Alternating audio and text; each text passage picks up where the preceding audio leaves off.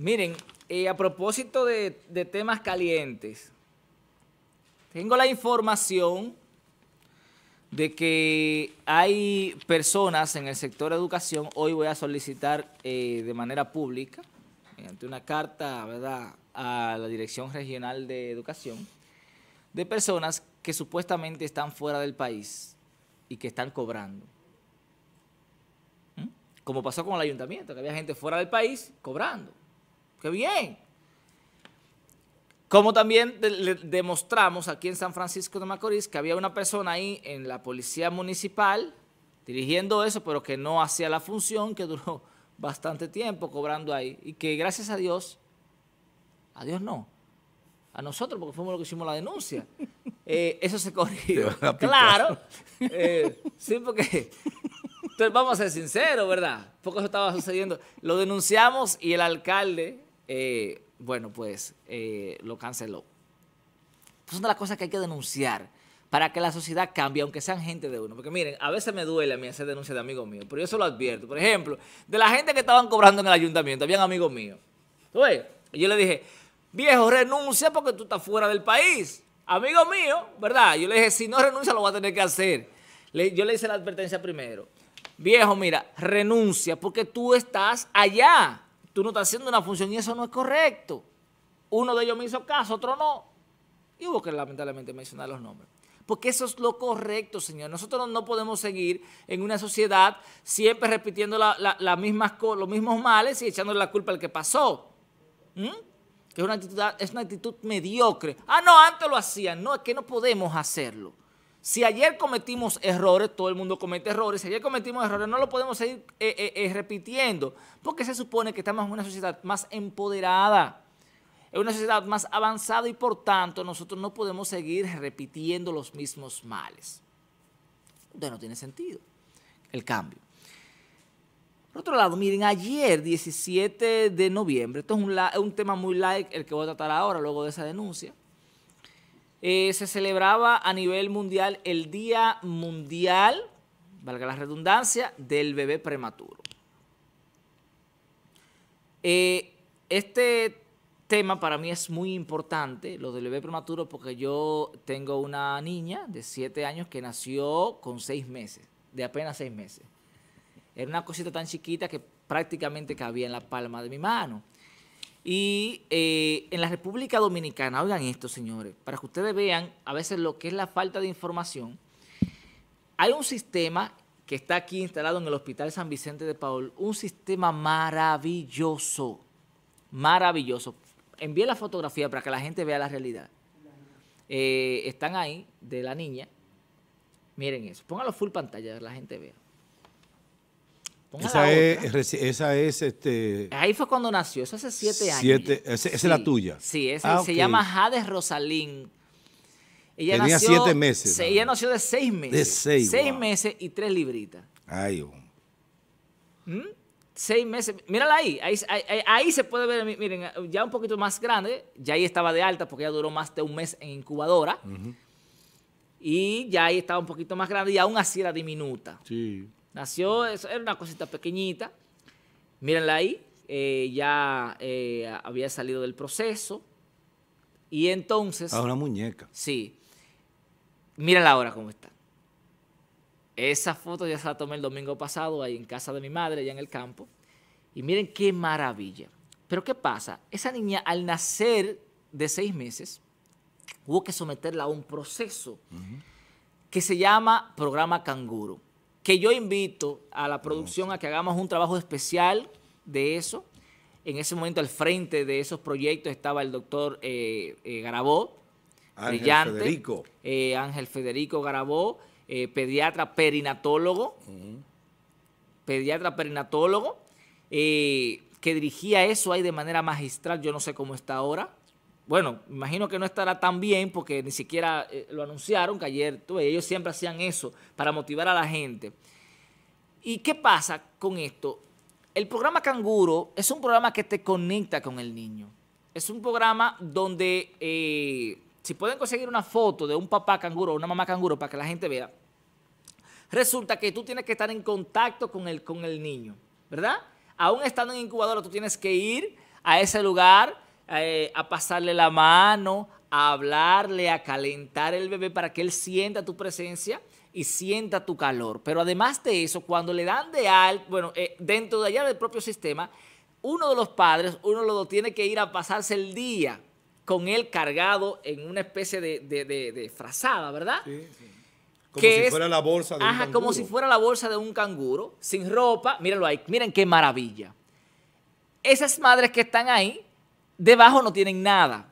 O sea, tiene que ser contacto piel con piel. Al niño te lo desnudan y te lo ponen ahí. Yo lo hice muchísimas veces. Y es algo maravilloso. Incluso cuando, cuando le dieron de alta y nos lo llevamos a la casa, yo era el que dormía con la bebé. Yo me sentaba en una mecedora, ¿verdad? Y entraba la bebé dentro de la frazada, eso que ustedes están viendo ahí, y amanecía con ella, porque es 24 horas. Cuando no están en incubadora, uno eh, puede participar la familia completa, tíos, hermanos. Entonces, cuando no lo tiene uno, lo tiene que tener el otro, pero tiene que estar 24 horas dentro de la frazada. Eso es un tiempo, hasta que ya luego eh, comienzan a bajar las horas y todo lo demás. Es algo maravilloso. Y esos niños son muy inteligentes, se desarrollan muchísimo. Eh, y ese programa... ¿Qué tiempo eh, duran en esa fase? de Eso va a depender del desarrollo del niño. Por ejemplo, nosotros duramos aproximadamente dos meses. Hay niños que desarrollan más lento, otros que desarrollan más rápido. Pero miren, señores, el impacto que uno recibe cuando uno ve los bebés chiquititos, cuando tú mm. vas allá, que tú ves otros grandes y te lo enseñan para motivarte, te dicen, mira, este pasó por el mismo proceso. Y tú ves esos muchachos grandotes frente al tuyo, es algo que, realmente impacta mucho, eh, eh, es algo muy emotivo. Y yo quiero, ¿verdad?, eh, felicitar este proyecto. En la, creo que aquí es en San Francisco que está, no sé si está en otra parte del país, y felicitar a ese equipo que en ese momento dirigía el doctor Ángel Federico Garabot, eh, es algo maravilloso, hay que estar dentro de ese hospital. Eso es un área que cuando tú llegas, tú crees que tú estás en otro país, porque es un área totalmente restringida, donde habían en ese momento 26 incubadoras. Eso es algo increíble. Ninguna clínica aquí tiene 26 incubadoras. Y eso es un área maravillosa, muy limpia. Eh, y esa gente te tratan como si fueran tu familia. Se involucran tanto con el bebé que como si fueran su familia. Y eso es algo que impacta mucho a la familia. Y realmente yo creo que ese tipo de proyecto tiene que ser multiplicado a todos los hospitales del país, que el gobierno debe invertir en eso. Y me lastimó mucho ver una información que también está ahí en el WhatsApp, muchachos, del Diario Libre, de que en los, en los últimos dos años, especialmente en este último, ha aumentado la muerte neonatal, eh, ¿verdad? Y entonces esto realmente hay que tratar de corregirlo. Eh, apoyar este, este, proyecto de, eh, canguro porque realmente funciona. Eh, Jade, vamos a colocar las imágenes de nuevo, como le digo, pasó por un proceso muy difícil, pero fue un proceso muy bello, donde todos nos involucramos. Yo recuerdo que a veces yo me dormía y la muchacha se me veía para abajo. Y, Ay, Dios mío, la muchacha, a, sacarla de la frazada, porque a veces uno no tiene el control del sueño. Entonces, señores, eh, yo quiero en el día, ¿verdad?, que se celebró ayer, el Día Mundial de bebé, del Bebé Prematuro, felicitar, ¿verdad?, a todos los bebés que han logrado eh, salir de este proceso y también a la gente que se esfuerza porque estos bebés salgan de este proceso. Saludo especial a la doctora García, que siempre estaba también ahí trabajando muy duro con, con este proyecto. Ahí en el Hospital San Vicente Paul, un proyecto maravilloso. Incluso somos, somos nosotros referentes a nivel del Caribe. El Hospital eh, en ese momento, no sé ahora, eh, en ese momento éramos referentes a nivel del Caribe con ese programa Canguro. Por otro lado, miren, yo tengo acá esto, eh, ¿qué tiempo me queda Israel? Miren, yo tengo acá esto, que es una certificación de paciente de CENICardio, Centro de Intervenciones Cardiovasculares, ¿Qué dice aquí? Pedro, ayúdame por favor. Dice, miren, este, eh, este conducto certificamos que el paciente Virgilio Antonio Sosa, cédula tal, tal, tal, fue ingresado a nuestra unidad hemodinámica por diagnóstico de movilización de electrodo ventricular y se le realizó una recolocación de cable ventricular a los 15 días del mes de octubre. Dicho procedimiento no tiene cobertura por su seguro. Ahí comienza el problema. Además del problema de salud, aquí comienza el otro problema. No tiene cobertura por su seguro, generando un monto a pagar de 100 mil de 150 mil pesos, los cuales nuestra administración le aplicó un descuento de 20 mil pesos para un total general de factura por 130 mil pesos, tomando en cuenta que el paciente depositó 20 mil pesos, su restante a pagar son 110 mil pesos. Miren, señores, eh, el que mínimamente ha hecho deporte aquí en San Francisco de Macorís conoce a Virgilio. Y el que no ha hecho deporte ha, ha escuchado hablar de Virgilio. Y el que no ha escuchado hablar, entonces yo le diré quién es Virgilio Sosa ha sido uno de los grandes deportistas que hemos tenido, incluso ganador de medalla de oro, ¿verdad? De oro, ¿verdad? ¿En qué año fue eso? En boxeo. Pero que no fue a boxear. Oye, lo llevan a, unos juegos panamericanos, eran panamericanos, y él no fue a boxear, lo pusieron a boxear y ganó medalla de oro. ¿no? Increíble el talento que tienen los dominicanos. Y ha sido un softbolista eh, un gran deportista franco-macorizano y hoy el Estado le falla. El Estado le falla porque su seguro no le cubre. Y este amigo, Virgilio, ¿de dónde va a sacar 100 mil pesos? ¿Tú tienes 100 mil pesos guardados, Pedro? Yo no tengo 100 mil pesos guardados. He tenido que gastarlo ahora con esto de la, de la, ¿verdad? Eh, eh, de, la pandemia. Esto es un lío ahora. Y la mayoría de gente, señores, no tiene 100 mil pesos no tiene 200, no tiene 100, no tiene ni 50 mil pesos por la situación de la crisis que se está dando ahora. Y yo quiero llamar al director provincial de, deportes, al director regional de deportes, quiero llamar a los diputados de la provincia de Duarte, atención Nicolás Hidalgo, para eso es que yo apoyo a los candidatos, para cuando toca defender al pueblo estar ahí. Por eso no le cobro, porque hoy lo puedo llamar por su nombre y exigirle ¿Mm? Atención a los demás, que yo no apoyé, honestamente. Eh, atención al senador Franklin Romero, que es un hombre que está siempre apoyando a la gente, ¿verdad?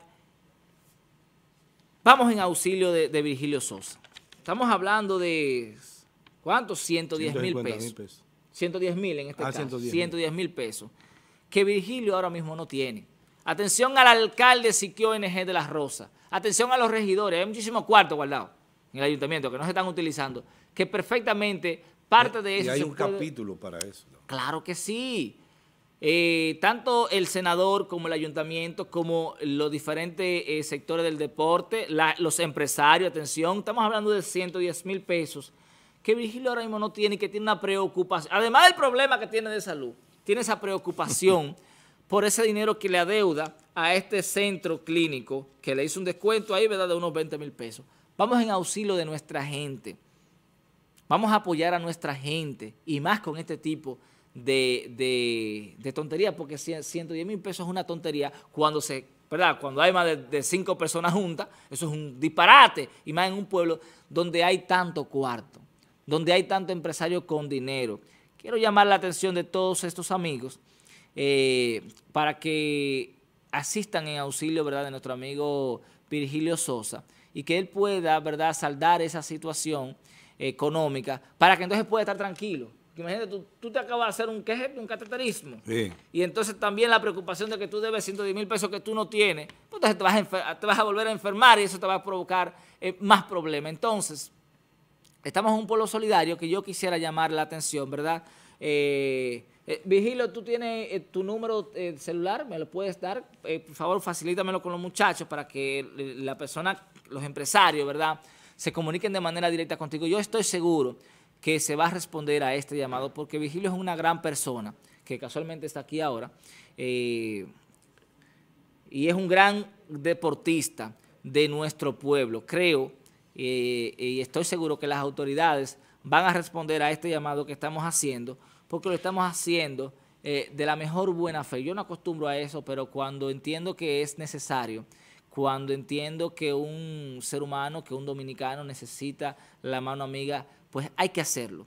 Eh, no dejemos que nuestras, eh, nuestra gente buena, los que lo dieron todo por el deporte en favor de la sociedad, ¿verdad? Vivan este tipo de situaciones cuando el Estado le falla, que debió cubrir el Estado todo lo que tiene que ver con su salud. Eso es parte de la garantía de los derechos fundamentales. Bien. gracias.